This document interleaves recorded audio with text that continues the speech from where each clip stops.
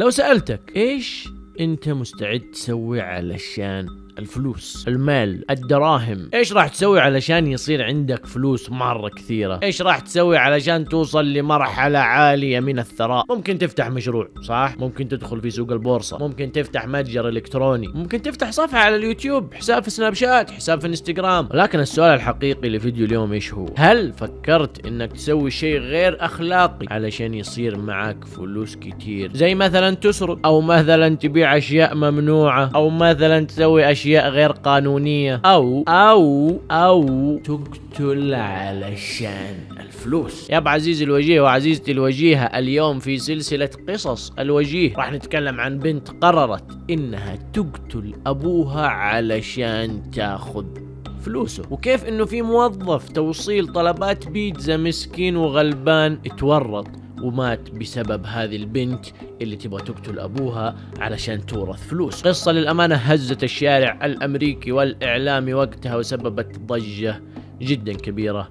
فكونوا معنا. هلا والله بالجميع معاكم الوجيه كيف حالكم يا جماعة؟ إن شاء الله تكونوا دائما بخير وصحة وعافية. على السريع بس عشان لا يكثر الكلام وزي ما يقولوا ندخل في صلب الموضوع. اشترك في القناة لو ما كنت مشترك وفعل جرس التنبيهات عشان توصلك فيديوهاتي أول بأول. والأهم من هذا كله لو أعجبك الفيديو أفضل دعم إنك تسويه تضغط على زر اللايك. غير كذا أربط لي حزامك أربطي لي حزامك ويلا بينا نشوف إيش قصة براين ويلز والبنت اللي قررت إنها تقتل أبوها علشان تورث جميع أمواله. القصة مضاف لها حوارات خيالية من مخيلة الوجيه وبعض ممن حكوا القصة. لأن براين ويلز يا جماعة مات ولم يحكي قصته ولكن بالرجوع إلى كاميرات المراقبة في عدة أماكن تواجد فيها أثناء هذه القصة تم توقع ما قد سوف تكون عليه هذه الحوارات.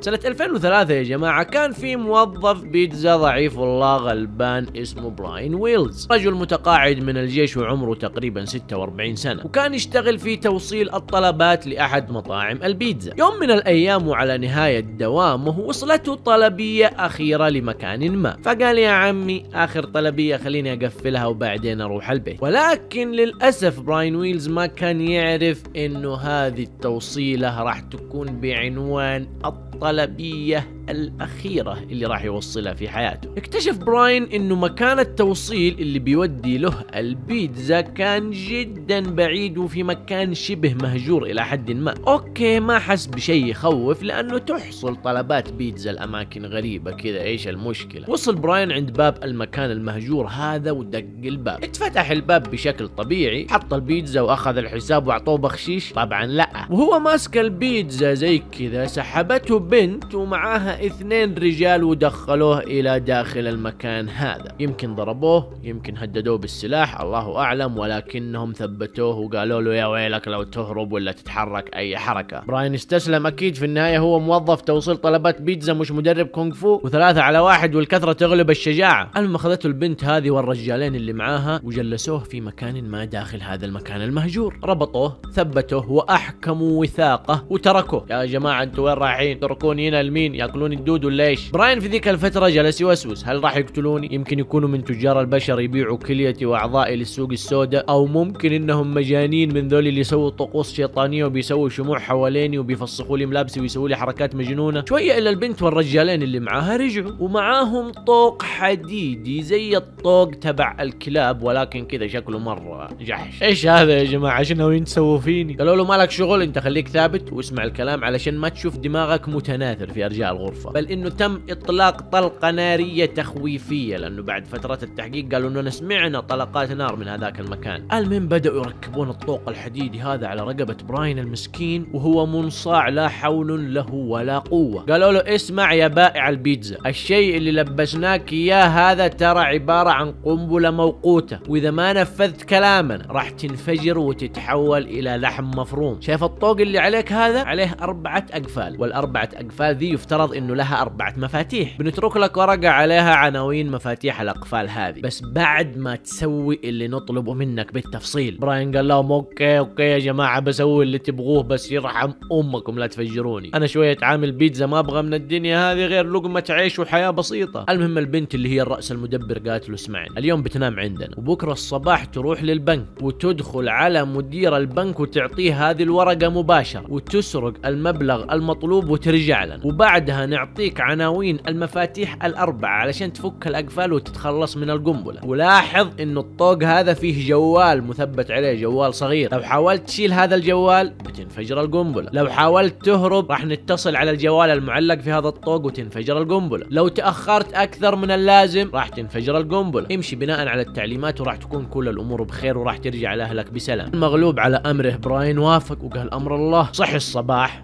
هذا لو كان نام أصلا لبس ملابسه واعطوه بندقية من نوع غريب جدا يعني كذا بندقية أحد صنعها يدويا على شكل مظلة أو تشبه العكاز. وقالت له البنت هذه تستخدمها وأنت داخل البنك كأنها عكاز علشان لو اضطريت تهدد أحد بالسلاح. أخذ براين السيارة وانطلق إلى البنك وبدأ يدخل للبنك بملابسه المنتفخة وعكازه المزيف ووصل إلى أحد الموظفين وأعطاه الورقة. أخذ الموظف الورقة وبدأ يقرأ فيها. أنا أحمل سلاح والشيء اللي تحت فنيلة هذا قنبلة. إذا ما أعطيتني مبلغ 250 ألف دولار راح أفجر المكان باللي فيه. وإذا حاولت تفعل جرس الإنذار راح أفجر المكان باللي فيه. الموظف بلع أم العافية ورد على براين وقال له والله أنا مستعد أعطيك مليون لو في شيء في الدرج بس كل اللي عندي في الدرج 8000 دولار وشوية. رد عليه براين وقال له الله يخليك الشيء اللي في رقبتي هذا قنبلة. ولو ما أعطيتوني المبلغ اللي مكتوب في الورقة بنروح أنا وأنتم لحم مفروم. الموظف رد عليه مرة ثانية وقال له والله العظيم ما عندي إلا 8000 دولار. صدقني لو فيها أكثر لاعطيك براين قال له خلاص حط ال 8000 دولار هذه في الكيس وخليني أمشي من هنا قبل ما تنفجر القنبلة. أخذ براين ال 8000 دولار في كيس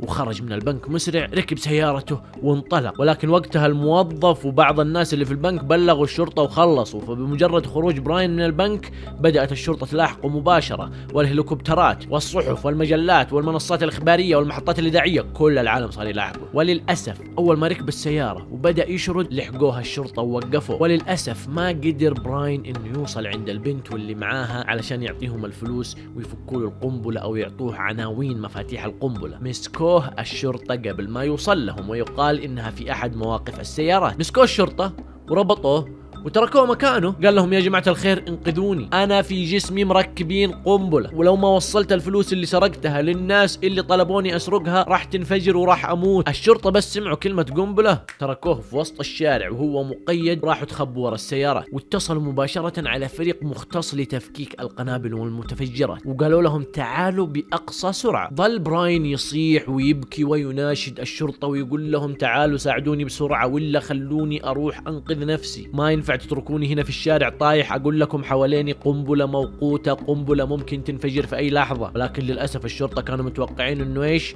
فرقة تفكيك المتفجرات راح توصل في الوقت المناسب وإنه ممكن قاعد يتلاعب فيهم. وظل براين في هذيك اللحظات التعيسة يشوف شريط حياته قدامه ممكن ينتهي في أي لحظة. وفي ظل تأخر تفكيك فرقة المتفجرات وبدون أي مقدمات ووسط صرخات وبكاء براين في الشارع انفجرت القنبلة في رقبه وصدر هذا الإنسان المسكين ومات مباشرة. تخيل تروح توصل بيتزا وفجأة تلقى نفسك شايل قنبلة معلقة فيك ومطلوب منك تسرق ربع مليون دولار وفجأة تنفجر وتنتهي حياتك. شيء للأمانة جدا مؤسف. المهم فتحت الشرطة ملف التحقيق وبدأت رحلة البحث عن المسؤول عن تفجير هذا الإنسان البريء وإيش هي مخططاته. وبالفعل عن طريق الرجوع إلى سجل الطلبات ومواقع التوصيل تبع البيتزا وعن طريق مراقبة المكالمات والرجوع إلى سجل المكالمات اللي تمت في هذيك المنطقة وصلوا إلى مكان توصيل البيتزا ومن هناك بدأت التحقيقات. وحبة حبة قدروا يوصلوا إلى هذه البنت والرجالين اللي معاها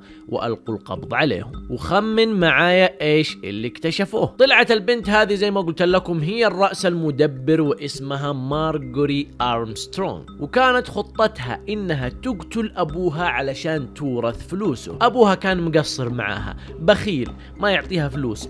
ايا كانت المشكلة اللي بينها وبين أبوها كانت تبغى تقتله علشان تاخذ فلوسه كلها. طيب معلش يا وجيه إيش دخل أم بائع البيتزا المسكين هذا؟ وليش تبغى تسرق البنك إذا هي تبي تقتل أبوها؟ وإيش أم الفوضى اللي عملتها ذي؟ أنا مش فاهم. حلو راح أشرح لك. طلعت البنت هذه ما تقدر تقتل أبوها بشكل مباشر. ما ينفع تروح تقتل أبوها تقول له موت هات فلوس. ما ينفع. لازم توظف قاتل مأجور. اقترح عليها أحد أصحابها المتآمرين معاها وقال لها اسمع يا بنت أنا مستعد أقتل ابوكي مقابل 250 ألف دولار. جيبي لي 250 ألف دولار أنا راح أقتل لك أبوكي من دون أي أثر ورايا وراح تورثي الفلوس بكل بساطة. وبحكم إنه البنت زي ما قلت لكم ما عندها هذا المبلغ عملت خطة سرقة البنك. ولكن كيف تسرق البنك؟ البنت ما هي خبيرة سرقة ولا عندها عصابة مختصين بسرقة البنوك. فراحت جابت عامل البيتزا المسكين وعملت كل القصة هذه بمساعدة اثنين من أصحابها أو اثنين رجال عشوائيين الله أعلم. الصدمة مش هنا. الصدمة إنه أثناء التحقيقات قالوا إن عامل البيتزا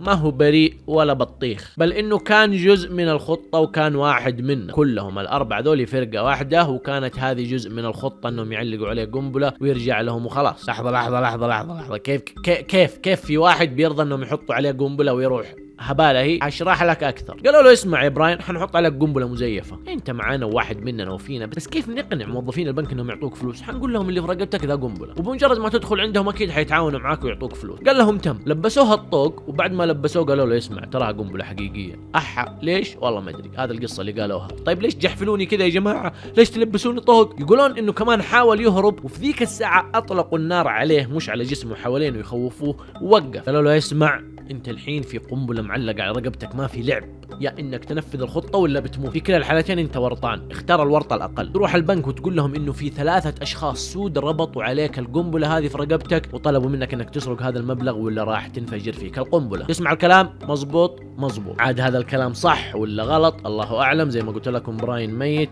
ولا روى أي قصة. ولكن أسرة براين ويلز أنكروا هذه القصة وقالوا إنه الرجال طيب وغلبان وماله في الهشك بشك والخرابيط هذه ابدا. والله أعلم. طبعا البنت حكموا عليها مؤبد. بعد ما اكتشفوا إن هي الرأس المدبر. طبعا أكيد أبوها قطع علاقته فيها للأبد. مستحيل إنه يعترف فيها كبنت بعد الفوضى اللي سوتها ذي. وأحب أقول لكم إنه البنت هذه أصلا لها سوابق كثيرة. البنت أول شيء عندها إيش؟ مرض نفسي من نوع معين غير إنها كانت دائما تتضارب وتسبب مشاكل وحاولت تقتل أكثر من مرة. البنت ما هي مضبوطة. المهم إنهم حكموا عليها مؤبد وظلت في السجن إلى سنة 2017 وماتت. يب ماتت داخل السجن. واللي معاها الاثنين اللي ساعدوها في تصميم القنبلة وتوفير الأسلحة وذا الكلام تم الحكم عليهم بأحكام مختلفة. وتفاوتت الأحكام ما بين الاثنين ووصلت بعضها إلى 45 سنة سجن. يعني مؤبد إلا شوية 45 سنة بتجلسها في السجن أكيد بتخرج وأنت على فراش الموت أو على الأقل شخص معاد مهتم في الحياة. وبس والله يا جماعة هذه كانت قصة براين ويلز موصل طلبات